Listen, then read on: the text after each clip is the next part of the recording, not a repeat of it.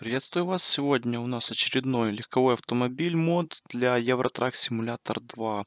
Это Fiat 131, он же TOFA 131. Как видим, он находится в своем салончике.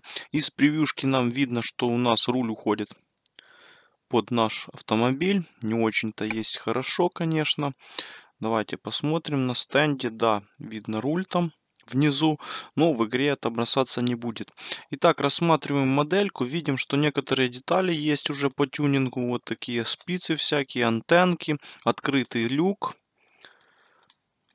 диски вот с такими красными элементами. И даже вот такой колпачок на топливный бак. 1600 тут написано у нас. Э, Мурат 131, Доган. И вот такой вот турецкий номерочек у нас. Сзади какие-то надписи, не знаю, кто это писал. Это автор, наверное, решил отметиться. Итак, смотрим, что у нас по кабине. Кабина у нас одна. По шасси у нас два варианта. Как вы видим, первый такой э, с наклоненным передом. И второй вариант уже с нормальной посадкой. То есть выбирайте, как вам лучше. Кстати, первый вариант у него вот такой вот выступающие колеса. Я выбираю стандартный вариант, мне не надо такого экстра тюнинга. Следующее, что мы переходим, это к двигателям. Как мы видим, два варианта и два на 75 э, лошадиных сил. Следующее по трансмиссиям у нас один вариант только на 5 передач. Так выглядит у нас наш интерьерчик. Э, обшивка, обивка э, сидений вполне себе приличная. Руль такой э, карамельно-глянцевый. Не каждому такой подойдет. Видим, что педальки тоже такие тюнингованные Момо. И несомненный атрибут этих модов это турецкий флаг. Итак, идем дальше. Что у нас по покраскам? Конечно же, хочется изменить покраску. Давайте в какой-то цвет покрасим, такой необычный. В зеленом я еще не ездил. Давайте выберем вот ему такой классический зеленый цвет. Э, так, э, Грей тут еще можно и металлик кастом. Следующее, что по внешнему тюнингу, как мы видим, у нас тут есть точки, но они никак не задействованы, потому что единственное, что мы можем менять, это диски. А, диски меняются вместе с шинами, как оказалось. Давайте поставим. Ну, это все спортивные, конечно, варианты. А, ну, вот эти с красными элементами, я не знаю, это не прогруженная текстура или так было задумано, мне не очень нравится. Так что выбор мой пойдет или на этот, или на этот диск. Давайте смотреть, чем они отличаются. Видим, что у нас даже рисунок шины другой. Ну, даже не знаю. По посадке вроде бы они приблизительно одинаковые. Конечно, они вгрызаются в крыло. Этот, э, этот вариант, конечно, мне не нравится. Давайте будем использовать э, вот такой. Да, вот такие диски мы поставили. На мой взгляд, нормально смотрятся. Э, больше точек я здесь не нахожу. К сожалению, нету также фаркопа, но я все равно протестирую этот автомобиль с трейлером. Э, напоминаю, что Тофас предыдущий вполне себе нормально. Видим надпись здесь Fiat, а не Тофас. Ну, такой вот у нас мешанина получается. Это как э, в прошлом моде, где был, был Fiat значок спереди, а в салоне был значок ВАЗа. Итак, переходим дальше. Что у нас по интерьерному тюнингу и, к сожалению, по интерьеру э, так, стандарт. Мы видим, можем поставить, я перескочил сам интерьер, можно поставить такой руль, руль Момо. Это, конечно, э, полный зашквар, но, не знаю, пофаниться можно поездить. В принципе, мне ни тот, ни этот руль не нравится. Хотелось бы какой-то классический третий вариант. Э, так, и, э, к сожалению, тут не находятся никакие GPS, ни бортовые компьютеры поставить нельзя. Это я считаю большим недостатком. Вот так вот у нас открыт люк, не знаю, он как будто висит в воздухе, тоже это мне не совсем понравилось. Но в целом интерьерчик вполне себе сносный. Итак, применяем, прицепляем трейлер и смотрим его в игре. Итак, мы в нашем фиатике. Давайте рассмотрим пока что все тут. Э, вроде бы все хорошо. Прицепил я трейлерочек. Каких-то зазоров я не вижу. Кстати, сзади вот такая вот довольно-таки красивая акустическая система. Ну, в принципе, нормально. Вот посмотрите, у нас вот такой вот тут зазор в двери. Посмотрим. А, повернуть сюда. Ну и видим, что здесь тоже зазор в двери. Э, недостатки мы уже нашли. А, следующее, что по приборке. Вот так выглядит приборочка. Опять же замечу, нету ни GPS, ни бортового компьютера. Это все хотелось бы опционально хотя бы. Так, э, с, по зеркалам у нас все нормально показывает вроде бы. Э, хотелось бы, чтобы это зеркало висело повыше, но как-то смотрится не очень, не отражает там что-то белое. Э, то ли текстуры не отражаются, они же не белые. Тут подголовники черные, только да, их видно, все остальное так засвечено. Э, ну, то есть зеркальце могли бы и повыше повесить. Давайте включим моторчик, послушаем звук. Вот такой вот звучок у нас мощный. Что у нас по поворотникам? Нету ни индикации, ни анимации включения поворотников. Это я считаю минусом, конечно же. Сигнал.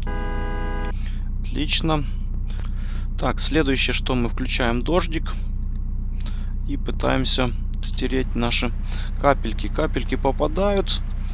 Э, на стойках тоже, также капельки немножечко есть, мы видим но вполне себе терпимо. Видим, что сзади маска неправильно настроена и заднее стекло у нас э, частично не попадает под дождь, к сожалению. Э, к, наш люк тоже не подвергается каплям дождя. И вот здесь видим по углам в салон немного проходит у нас дождик.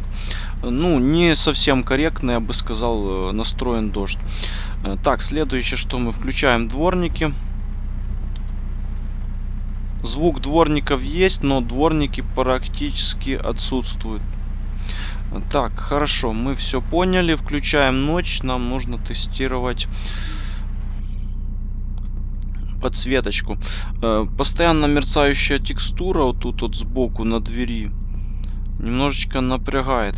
Итак, включаем свет. Видим, что такая зеленоватая подсветка. Сейчас я приближу, чтобы вам было видно. Вот так вот реализована подсветка. Не очень-то качественно, конечно, но светит вполне себе нормально. И дальний Дальний вот так светит. Перемещаемся на внешку. Э, кстати, у наших фаркопов, фаркопа здесь нету. Как мы видим, он просто приплюсован к, к нашему бамперу, да и все.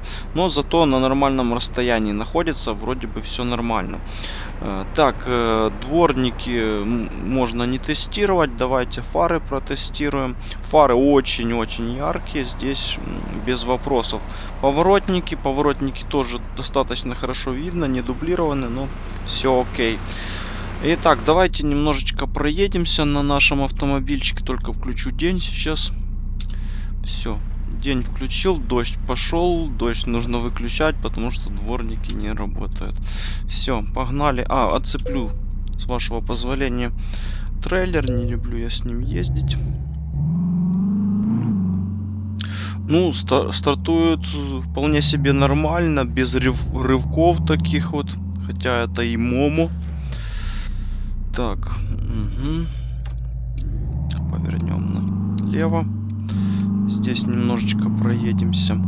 А, без GPS, да, сложно, конечно, ориентироваться. Вот такой звук у нас газования. Так, попал я на красный? Да ладно, поеду на красный. Так и быть. Так, тестируем тормоза. Ну, в принципе, нормально. Тормоза срабатывают хорошо.